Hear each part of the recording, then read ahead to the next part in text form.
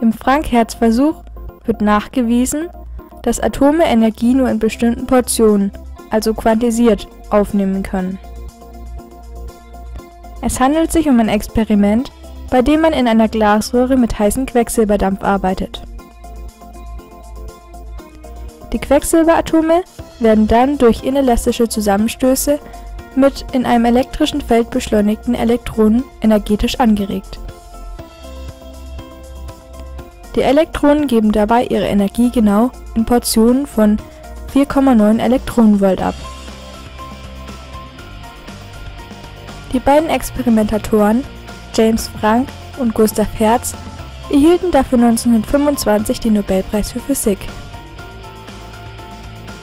Der Frank-Hertz-Versuch gehört zu den eindrucksvollsten Belegen der Quantenphysik und ist gleichzeitig relativ einfach aufgebaut. Er ist deshalb ein beliebter Demonstrations- und Praktikumsversuch in der Physikausbildung. Im Versuchsaufbau ist in einer Glasröhre auf der einen Seite eine Glühkathode befestigt, aus der Elektronen emittiert werden sollen. Auf der gegenüberliegenden Seite befindet sich ein elektrischer Anschluss, der als Auffanganode dient. Nun wird aber zwischen der Kathode und der Anode ein Gitter platziert und eine Beschleunigungsspannung zwischen der Kathode und dem Gitter angelegt. Die Spannung kann zwischen 0 und 30 Volt geregelt werden. Zusätzlich wird eine kleine Gegenspannung von etwa 1,3 Volt zwischen das Gitter und die Anode gelegt. Beim Anlegen einer Heizspannung an die Glühkathode bildet sich eine Elektronenwolke durch Herauslösen von Elektronen aus der Kathode. Im Gedankenexperiment sei die Glasröhre zunächst evakuiert. Die Beschleunigungsspannung beschleunigt nun die Elektronen, die eine negative Ladung besitzen, in Richtung Gitter, das positiv geladen ist.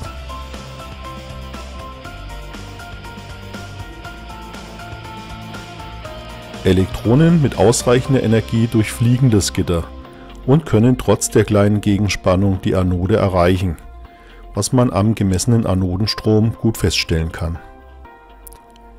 Im realen Frank-Hertz-Experiment befindet sich jetzt allerdings heißer Quecksilberdampf in der Röhre. Was passiert? Die Elektronen stoßen inelastisch mit den Quecksilberatomen zusammen und geben einen Teil ihrer Energie ab. Sie werden dadurch langsamer. Die Quecksilberatome auf der anderen Seite werden in einen energetisch angeregten Zustand befördert.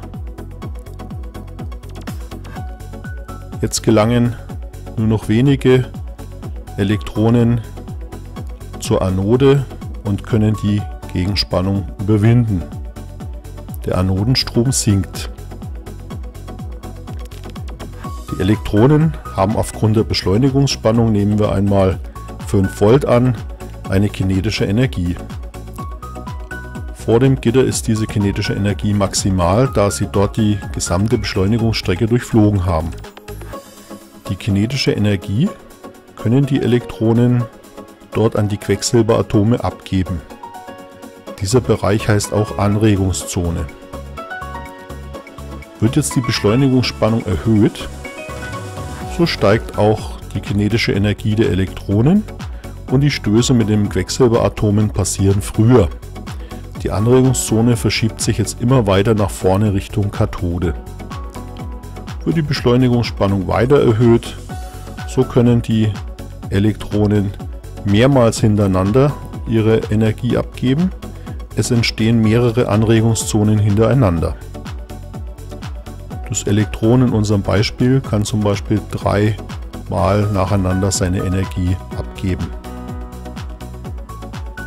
Die angeregten Quecksilberatome geben diese Anregungsenergie allerdings auch relativ schnell wieder ab, und zwar als ultraviolettes Licht was man mit dem Auge leider nicht sehen kann, mit speziellen Messinstrumenten jedoch gut detektieren kann. Hier nun zum Versuchsaufbau. Er besteht aus der geheizten Messröhre aus Glas der Spannungsversorgung für die Beschleunigungsspannung sowie einem Messverstärker für den aufgefangenen Strom. In der teilevakuierten und verschlossenen Glasröhre befindet sich ein heißer Quecksilberdampf bei einer Temperatur von ca. 185 Grad Celsius und geringem Druck. In der Röhre 3 sind Elektroden angebracht. Die Glühkathode, die Anode sowie zwischen Anode und Kathode ein Metalldrahtnetz als Gitter. Aus der Glühkathode werden Elektronen aus dem Metallgitter gelöst. Beim Blick in die Zelle sieht man zwei Heizungen, eine in der Kathode und eine große unten im Heizgitter. Diese ist mit einem Thermostat geregelt. Beim Frank-Hertz-Versuch wird eine Beschleunigungsspannung zwischen Kathode und Gitter gelegt, die die Elektronen Richtung Anode beschleunigt. Im Experiment kann diese zwischen 0 und 30 Volt geregelt werden. Gemessen wird der Anodenstrom in Abhängigkeit von der Beschleunigungsspannung. Der Strom ist sehr klein, einige Nanoampere, und muss daher mit einem Messverstärker verstärkt werden. Dieser zeigt daher Milliampere an.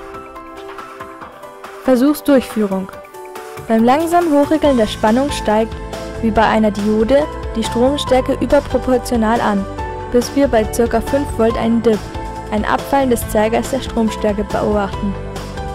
Bei weiterem Hochregeln der Spannung steht, steigt der Strom wieder steil an.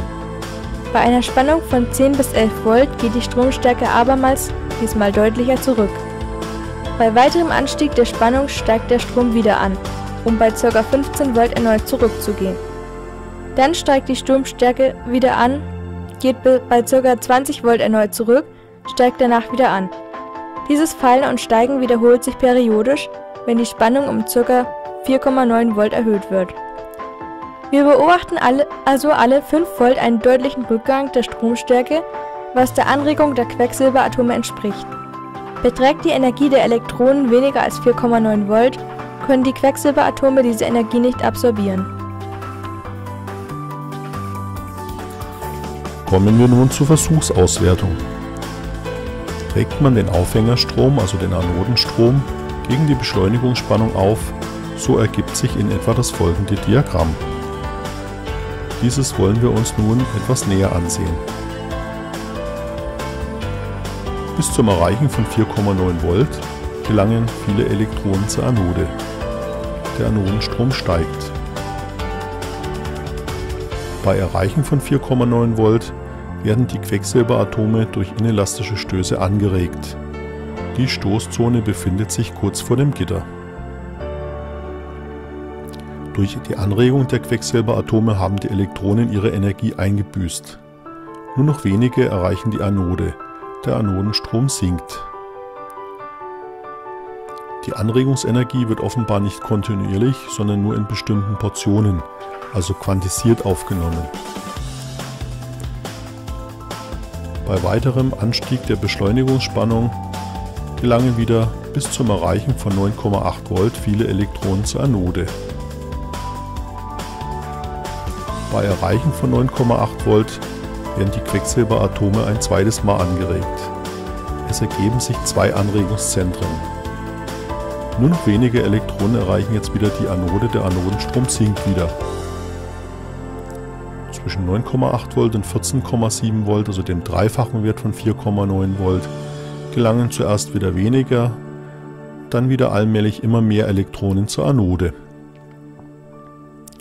Bei Erreichen von 14,7 Volt werden die Quecksilberatome ein drittes Mal angeregt. Es ergeben sich jetzt drei Anregungszentren und nur noch wenige Elektronen erreichen wieder die Anode, der Anodenstrom sinkt wieder. Kleinste Anregungsenergie von Quecksilber beträgt offenbar 4,9 Elektronenvolt. Die angeregten Quecksilberatome kehren rasch durch Aussendung eines Photons in den Grundzustand zurück. Aus der Energie 4,9 Elektronenvolt lässt sich die Wellenlänge des ausgesandten Lichtes berechnen. Man erhält hier etwa 253 Nanometer. Dabei handelt es sich um ultraviolettes, also unsichtbares Licht. Auch mit anderen Gasen lässt sich der Frank-Hertz-Versuch durchführen. Für die charakteristischen Energien erhält man bei Helium 21 Elektronenvolt, bei Natrium 2,12 Elektronenvolt und bei Kalium 1,63 Elektronenvolt.